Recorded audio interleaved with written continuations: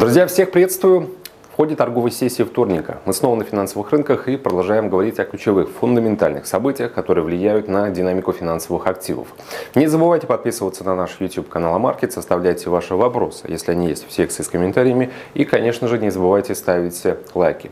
Также снова напоминаю, что в описании к этому ролику вы всегда можете найти ссылку на наш официальный телеграм-канал AMarkets, где каждый день мы размещаем большое количество дополнительного аналитического контента э, вам в помощь помощь в принятии торговых решений. Если есть э, желание оставить фидбэк, может быть, добавить какой-то инструмент, хотя я думаю, что мы стараемся охватывать буквально весь спектр финансовых активов. Ну, если что-то все-таки не попадает в поле нашего внимания и зрения, пишите, передавайте обратную связь либо через персональных менеджеров, либо прямо оставляйте э, в комментариях.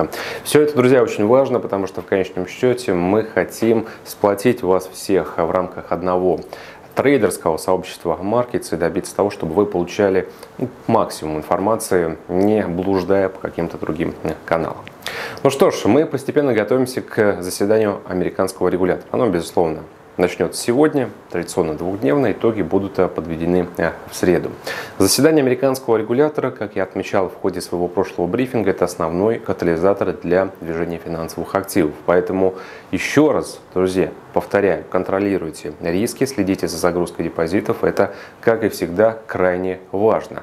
Индекс доллара под конец этой недели точно будет на совершенно других э, уровнях. Ну и поскольку я все-таки оптимист и считаю, что тот фундаментальный фон, который сложился, может располагать только лишь одному пути движения. Индекс американской валюты это вверх. Считаю, что индекс доллара легко прорвется выше 113 пунктов. Сейчас Напомню, индекс доллара котируется на отметке 111.17, и мы наблюдаем за ростом третью торговую сессию подряд. Если и сегодня, опять же, индекс доллара оформит бычью зеленую свечку, будет уже четвертый день роста а, подряд.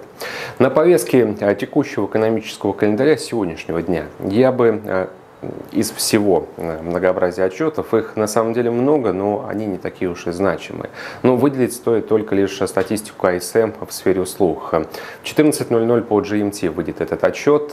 На брифинге в понедельник, точнее на вебинаре, я подчеркивал важность анализа такого формата релизов, потому что сейчас мы должны как рыба в воде ориентироваться в состоянии американской экономики, потому что большую часть идей, которых мы транслируем, они основаны на а, идее, опять же, а, роста курса доллара, потому что а, мы вроде бы как неплохо разобрались в том, что происходит в американской экономике. И, соответственно, если мы отстаиваем позицию того, что ФРС должен повысить ставку в ноябре, в декабре, потом в феврале и в марте, значит, мы должны быть убеждены в том, что для этого есть условия, и американская экономика может переварить еще несколько шагов, которые предполагают ужесточение монетарной политики. А хорошее пищеварение экономики напрямую зависит от ее а, состояния. Чем больше будет хороших, сильных отчетов, тем больше у нас будет а, причин полагаться на американский регулятор и на то, что он останется верен своей стратегии, идее постепенного повышения ставки как основного инструмента борьбы с инфляцией. Напомню, друзья, то, что индекс доллара выше 111 пунктов, э, э, это еще ничего не значит. То есть до заседания американского регулятора индекс доллара может уйти на коррекцию. Но я считаю, что уже была коррекция на прошлой неделе, когда мы даже тестировали поддержку 110. И теперь можно благополучно постепенно расти. Хочу представить вам несколько прогнозов инвестбанков. Понимаю, что мое мнение, возможно, кого-то из вас не особо интересует, но думаю, вы все слышали про Goldman Sachs, про Morgan Stanley, про то, что ребята аналитических департаментов этих инвестбанков довольно неплохо анализируют рыночную ситуацию и попадают в цели своих долгосрочных прогнозов.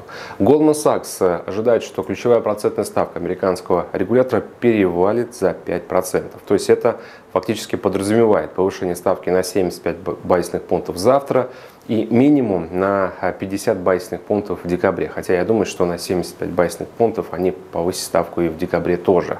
Если по версии Goldman Sachs ключевая ставка американского регулятора превысит 5% в начале следующего года, это будет означать, что американский рынок долга, десятилетние трежерис, более долгосрочные бумаги будут активно расти в плане доходности. И, например, доходность десятилетних облигаций может легко также перевалить за 4,6-4,7%.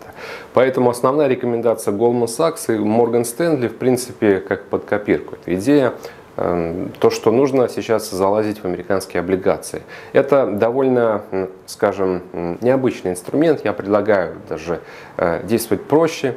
То есть, если есть убежденность в том, что будут расти доходности американских облигаций, значит, априори должен расти курс доллара, индекса американской валюты. Это та идея, которую я вам подкинул еще много-много месяцев а, назад.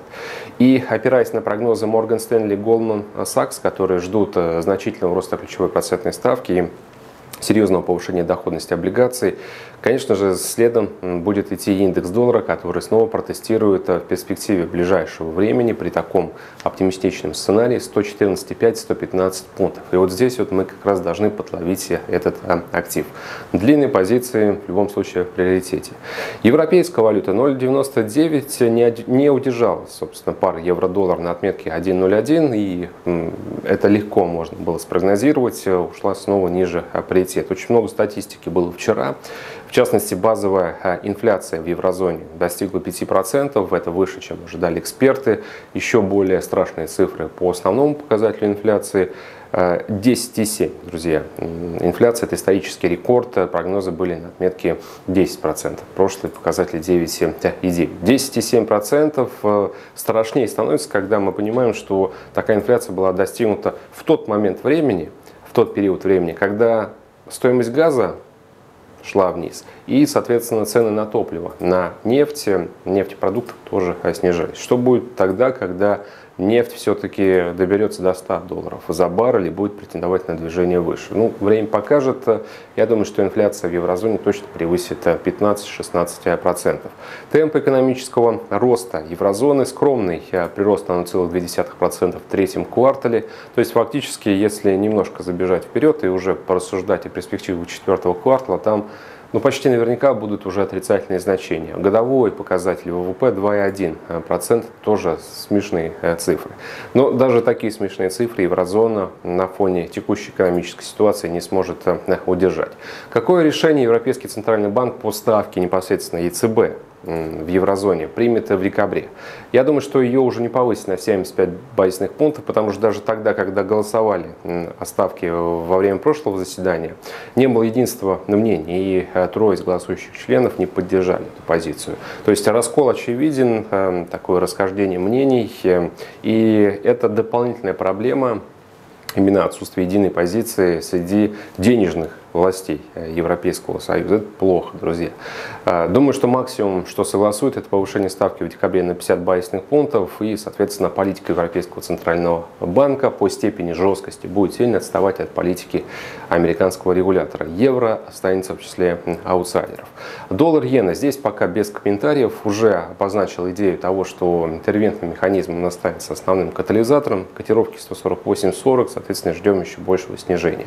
Рынок нефти постепенно постепенно растет. Сегодня, кстати, на азиатской сессии активное восстановление идет 93,56 э, доллара за баррель по бренду. И, возможно, рост э, нефти сегодня опирается на прогноз. Последний прогноз доклада ОПЕК, потому что в 2023 году спрос на нефть вырастет на 2,7 миллиона баррелей по сравнению с прошлой оценкой достигнет 103 миллионов баррелей в сутки. Это при том, что в 2023 году мы прям вступим в 2023 год с очевидным дефицитом предложения из-за уже вступления в силу силу финальных, окончательных санкций на поставку, а точнее даже эмбарго, запрета экспорта российской сырой нефти и нефтепродуктов. И, конечно же, к этому периоду времени, к началу 2023 года, страны ОПЕК вроде бы как должны сократить объем нефтедобычи на 2 миллиона баррелей в сутки.